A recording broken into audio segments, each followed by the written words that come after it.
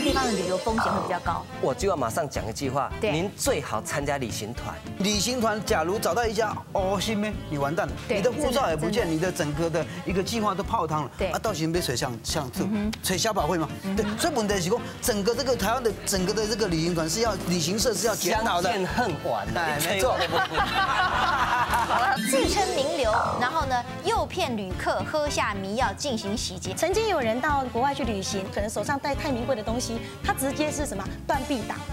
他已经不抢了，他直接用一把一把刀砍了之后，把手拿走，上面的东西跟财物一起洗劫而空。